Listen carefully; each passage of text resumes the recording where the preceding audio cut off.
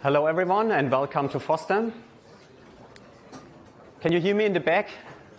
Yes, perfect. My name is Matthias Kirschner. I work for Free Software Foundation Europe, and I'm here today to encourage you to get active and support civil society organizations. So nowadays, computers are everywhere around us. They are in the form of uh, computers as most of people know it, like desktop computers, laptops, mobile phones, tablets, or Wi-Fi routers. But they are also in shapes where people usually don't recognize them. Like, for example, cars, trains, airplanes, washing machines, dishwashers, lightning bulbs, you name it. They are everywhere. And they are deciding what we can do with those devices and what we cannot do with those devices as a society. And when we don't understand how they work, we don't know how our society works. And sometimes they are not even around us, but they are actually directly attached to our body or even inside of our body, like with hearing aids or with defibrillators.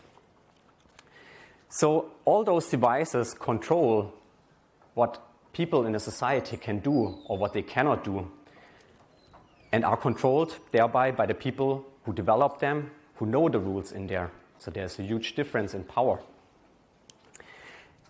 And nowadays, more and more of processes around us are also shaped by software. Here is an example, uh, in, it's from France. In France, a software decides which pupils will be allowed to go to which university. So, this software was kept secret for a long time. And nobody knew why some people were allowed to go to one university and some others might, be not, uh, might not be allowed to go to university at all. So, in that case, a pupils organization there, they sued the government and said they want to have access to the source code so they can see what is going on there and they, there could be a debate about if this is right or wrong.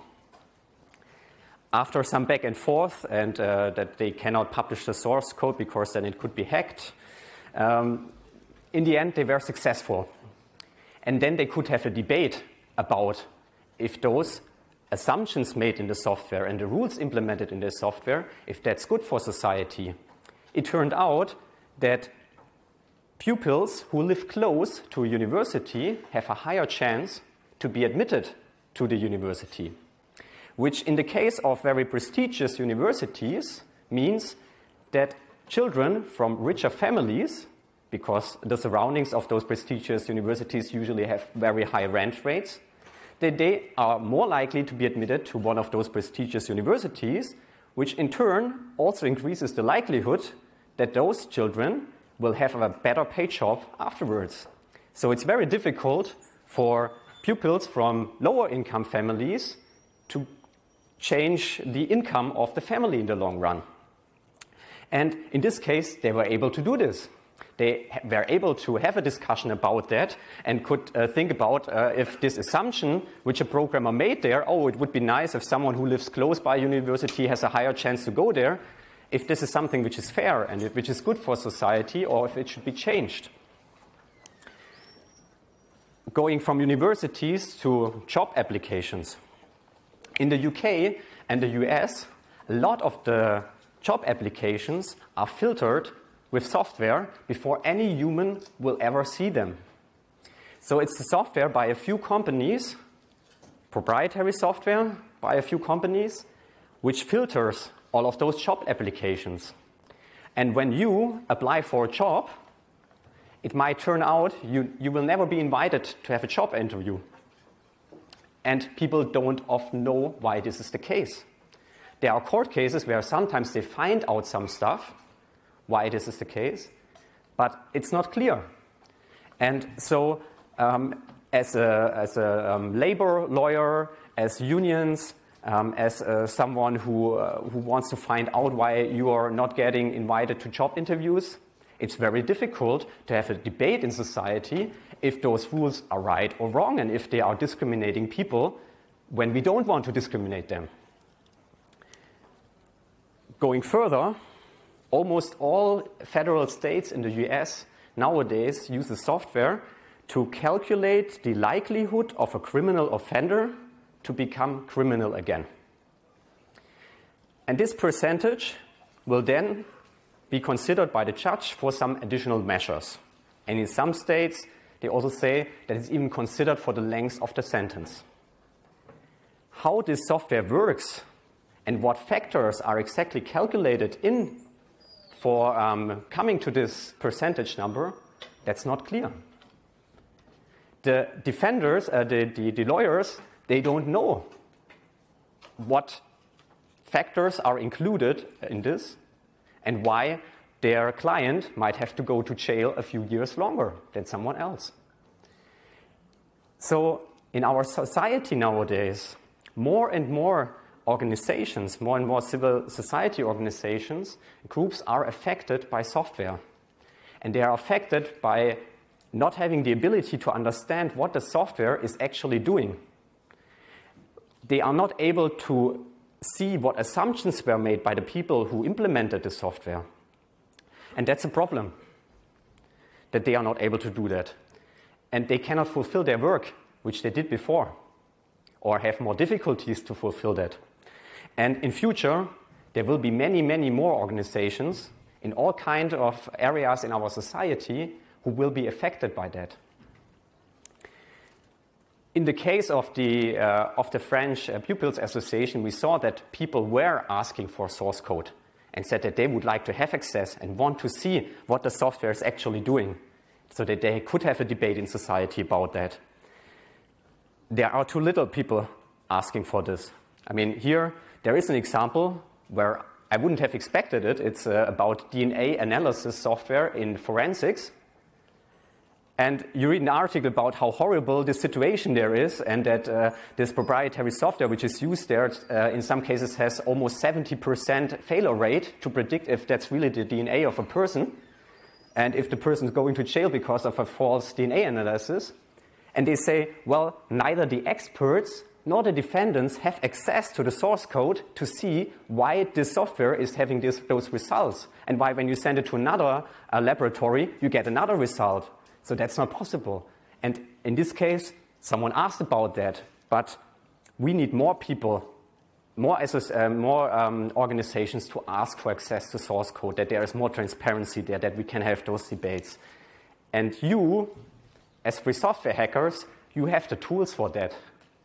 You know how to argue why it's important to have access to software, to see what is actually going on there, what assumptions are made, what ethics are in, and, and values are included in this software. So you can argue about that. You can also explain them that in some areas, it's the default that you are able to see what the software is actually doing. And you can also explain them that uh, the, the argument that if a company is publishing source code, that they then cease to exist, that this is not correct, and that it's a legitimate um, legitimate question to ask for having access to software and what this is doing for certain institutions, for people who are affected by this. So, lots of you care about different values, about different causes. Some of you uh, care a lot about privacy, some of you care a lot about animal rights, uh, public health, uh, about uh, um, different, different aspects, uh, env environmental um, regulations. There are lots of organizations working in those areas. And some of them, they also work in a direction when they are successful that some other organizations, uh, their goals will not be achieved. That's why it's important that each one of you thinks about what is important for you and then supports these organizations with your knowledge and uh, that they can better fulfill their role there and help them to make software freedom the default in their area as well it's important to know that software freedom, free software issue in, in all those uh, topics where these uh, civil society organizations are working, it's one small piece in the puzzle. There are many other things which, should, uh, which have to be considered. I mean, just in the uh, in the IT area. Uh, you also need people who argue why uh, access to data is important, or transparency of the hardware involved, or um, uh, privacy uh, issues are important. So, but it's a very, it's an important detail in this puzzle. Free software is necessary there. It's not enough, but it's necessary. So I would like to encourage you to get active there, to reach out to civil society organizations you care about, tell them uh, about free software, that they are aware about that, that there is the possibility to shape the environment where they are working in, maybe help them to improve that free, so, uh, free software, software freedom becomes the default there, so that the playing field they are operating in is changing and is more beneficial for what they want to achieve there. So please go out, do this, and uh, it's in the end not what, uh, what one of us is doing there, but it's the sum of all of the activities we are doing, and we are equipped with this knowledge. So please go out there and help those organizations so that they can fulfill their role for society. So thank you very much.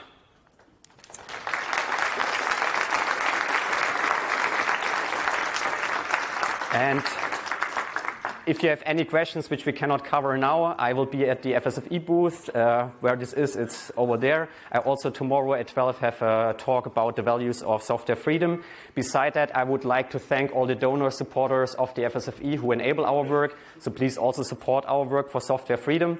And now, uh, I would also like you to give a big applause to the FOSDEM volunteers and organizing team. They are outside there as well. So big applause for enabling this. Thank you.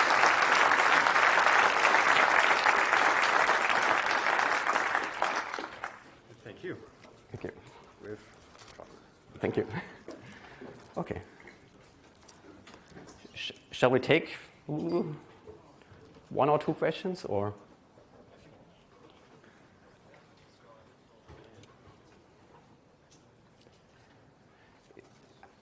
There's one question over there. I mean, yeah. Else just come to the FSFE booth. then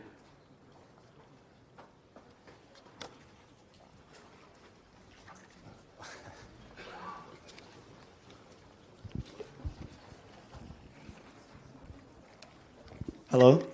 Um, thank you for the talk. Um, so you, you mentioned uh, some cases where effectively software impacts on, on lives of people and in ways that are terrible, like, for example, on the length of, uh, of your sentence, for example. Uh, but I was wondering whether, we whether the issue might not be actually proprietary software rather than the adoption of proprietary software from the state, because the state has got um, some imperativity on, on, you. I mean, it, uh, it can oblige you to do things such as go to prison, for example. And if that is, uh, if that thing is uh, not based on something that we can all agree upon, for example, such as, for example, the source code, I see it, I can see what are the assumptions, etc., etc., uh, then it's not obviously a good thing. Uh, so is there maybe a qui pro quo in the I don't know. I, I mean, for uh, for software which is developed by governments, we, we are also running this campaign, public money, public code. So we believe that when uh, governments, public administrations are using taxpayers' money to develop software, that this should be free software, and that we should be able to see what this software is actually doing. That we should be able to reuse that. But in the cases which I mentioned there, there's also lots of software where um, the software is actually written by some companies who are then controlling that. And even in those cases, we should have a debate which institution in our society, which uh, groups in our society should still have access to this, even it's not a direct uh, free software problem, but they should still have access to, to this uh, software and see what this is doing so we can have a debate in society about that. And uh, that's affecting lots of uh, organizations there. So I think it's both, both there is needed. Thank you very much. Have a good FOSDEM.